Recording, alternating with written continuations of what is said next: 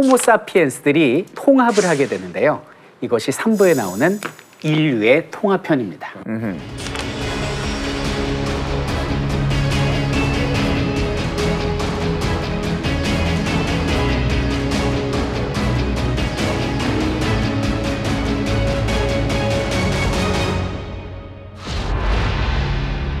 여기서 말하는 인류의 통합이 보통 뭐 기원 전후 뭐 1세기, 2세기, 3세기, 4세기, 5세기 이때를 얘기를 해요. 그럼 그땐 전화기도 없고 톡도 없는데 어떤 방법으로 이들이 자기들끼리 어떤 연합체를 만들었을까? 하라리는 세 가지 방법으로 인류가 통합될 수 있었다라고 얘기를 하는데 첫 번째가 돈이고요. 두 번째가 제국이고요. 세 번째는 종교라고 이야기를 하는데 세 개의 공통점은 실체하지 않는다라는 공통점이 있습니다. 제가 현무 씨께 한번 여쭤보겠습니다. 현무 씨. 돈이 끝나지 않는? 고통이네. 아, 그렇죠. 계속됩니다. 분열이에요. 네. 현무 씨, 돈이 실체하나요? 어, 돈의 가치만 실제하죠. 아, 상당히. 음, 표정 봤어 진짜? 어우, 네. 이거 일단 돈의 개념을 좀 알아야 될 것 같아요. 돈은 크게 이제 두 가지 개념이 있는데 하나는 돈이 있고요. 또 하나는 화폐가 있습니다. 돈이라는 건요. 네. 사물의 가치예요, 가치. 음. 그러니까 내가 뭐 축척할 수도 있고 유통수단으로 이렇게 교환할 수도 있고 그 가치를 돈이라고 합니다. 아하. 이 돈의 가치는 바뀌지 않지만 화폐는 끊임없이 그 모습을 바꿔왔습니다. 현무 씨, 선사시대 화폐는 뭐였을까요? 조개 껍데기입니다. 맞습니다. 역시. 그때는 이제 조개 껍데기가 화폐였고요. 세월이 지나면서 그게 금이 되기도 하고 은이 되기도 하고 아, 지금 우리는 종이에 색칠을 하면서 그 색종이를 화폐라고 이야기를 하는 거죠. 그런데 화폐는 실체하지 않는다라고 하라리는 얘기를 해요. 하라리 말에 따르면 전 세계에 달러, 유로, 원, 위안, 엔다 모아 모으면 그 가치가 6조 달러래요. 근데 실제 전 세계적으로 유통되는 돈은 60조 달러래요. 54조 달러는 은행 계좌에 숫자로만 찍혀져 있다는 어, 거죠. 어, 어. 그러니까 쉽게 얘기하면 실체하지도 않은 그 디지털의 숫자의 어떤 이동을 인간들은 믿고 있다라는 거예요. 그렇죠. 돈의 본질은 신용이에요. 이 색종에는 이만큼의 가치가 있어. 그걸 믿어야만 이 화폐가 존재할 수 있는 거죠. 그다음에 두 번째는 이제 제국입니다.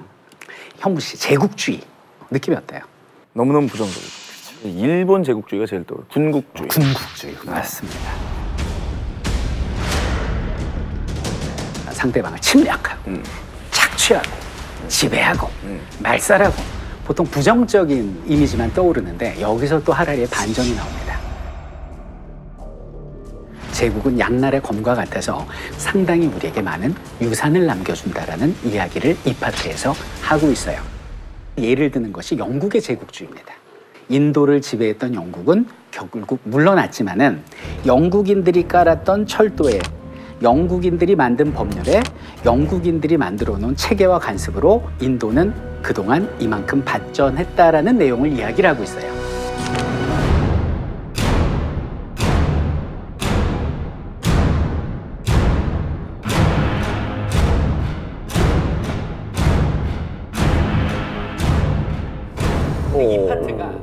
실제 엄청 욕을 먹었다고 알고 있어요. 전 세계적으로 아. 이 부분에 대해서 많은 사람들이. 제국주의에 대한 반감이 워낙 크기 때문에 맞습니다. 예. 근데 이제 하라리는 종교도 똑같이 얘기를 합니다.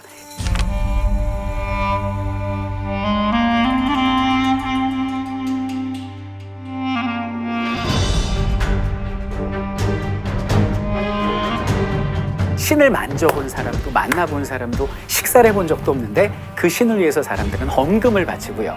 그 신을 위해서 죽고 죽이는 종교 전쟁을 벌인다는 거예요. 존재하지 않는 것을 믿고 따르는 것은 인간만의 독특한 본성. 이것 때문에 인간들은 처음 본 사람들과 유연하게 협력한다는 얘기죠. 마지막 단원이 바로 4부인데요. 과학혁명입니다. 과학혁명 첫 장에 이런 문장이 나옵니다. 기원 후 1100년쯤에 살던 한 사람이 500년 동안 긴 잠을 자게 됩니다. 그리고 500년 뒤에 깨어났는데 그때는 1492년이었어요. 시끄러운 소리에 눈을 깨어봤더니 컬럼부스의 산타 마리아호가 쫙 하고 떠나가고 있더래. 그러면 500년 동안 잠에 들었던 사람이 그 모습을 보고 굉장히 생경해 하겠냐라는 거예요. 생경하지 않는다. 1100년이나 1492년이나 거의 변한 모습은 없다는 거죠. 저 이해해요. 이성계 때 잠든 사람이 조선 후기 정조대왕 때 깼다고 크게 놀라지 않을 것 같아요. 좀 발전하지 않았을까? 그래도 뭐 갓 쓰고 뭐 고무신 신고 좀 말고 달라졌을 것 같은데. 한글 쓰는 것 보고 좀 놀랐겠죠. 그럴 수 어. 있죠. 음식에 고춧가루 많이 들어가서 놀랐겠다. 임진왜란 이후에 고추가 수입됐으니까. 역사 지식이 대단하신데요. 슬슬 도발이 오는데요. 이제. 아니 아니 아니. 아주 라이벌 역사 라이벌 아니고 역사 라이벌. 어, 그런데 1492년에 콜럼버스를 따라가던 선원 중에 한 명이 잠이 들었어요. 그리고 500년 뒤에 아이폰의 벨소리에 잠을 깹니다. 야 그러네. 그러면 똑같이 500년인데 뭐라고 그럴까? 이곳은 천국인가? 아니면 지옥인가?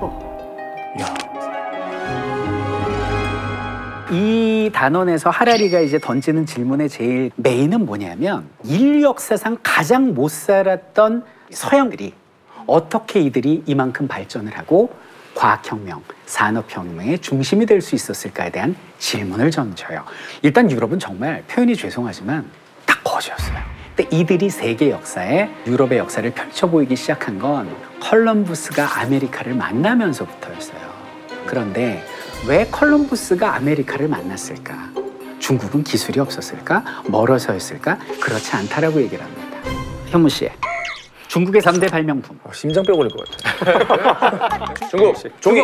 종이, 화약. 화약, 한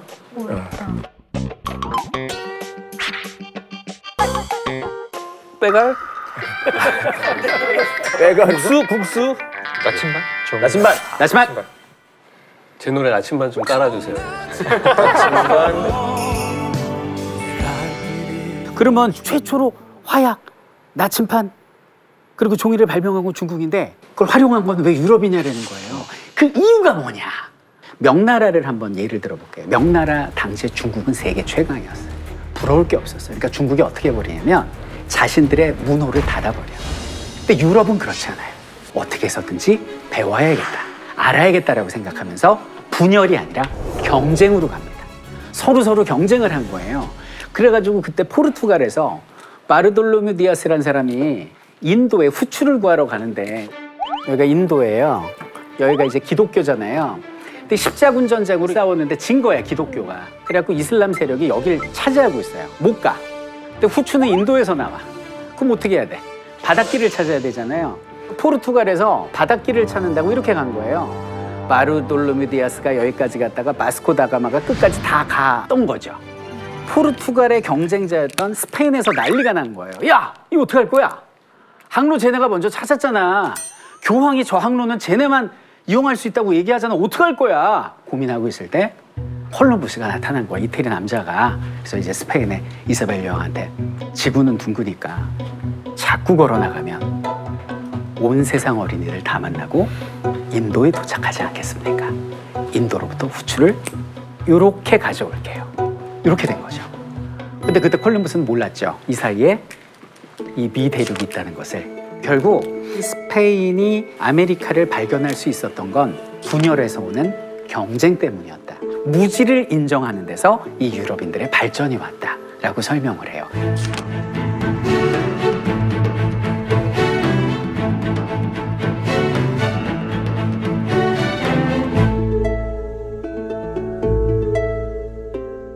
마지막에 유발 하라리는 미래에 대해서 이야기를 합니다. 여기는 인류가 인지혁명으로 똘똘 뭉쳐서 농업혁명으로 번식하고 돈과 제국과 종교로 똘똘 뭉치더니 이제는 과학으로 중무장하게 된 거예요. 그래서 하라리는 이런 표현을 쓰죠. 사피엔스가 아니라 이제는 호모 데우스다. 이 데우스는 라틴어로 신이란 뜻입니다. 신.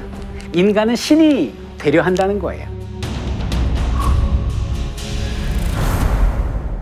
우리 12시간이면 여기서 미국도 가고요. 달에 발자국도 찍어요. 신의 영역이라고 생각했던 탄생과 죽음까지 여기는 인간이 관장한다라는 거죠. 하라리는 책 마지막에 이런 말을 남기죠. 우리 인간은 천국과 지옥으로 나뉘는 갈림길에 서 있다. 역사는 우리의 종말에 대해서 아직 결정 내리지 않았고 일련의 우연들은 우리를 어느 쪽으로도 굴러가게 만들 수 있다라고 얘기를 합니다. 4차 산업혁명으로 역사의 변곡점 앞에 서 있는 우리 호모사피엔스들은 천국의 문을 열 수도 지옥으로 가는 입구를 열 수도 있는데 과연 우리는 어떤 선택을 할 것인가 라는 질문으로 이 책은 마무리가 되고 있습니다. 야, 다 읽었다. 아, 다 읽었어.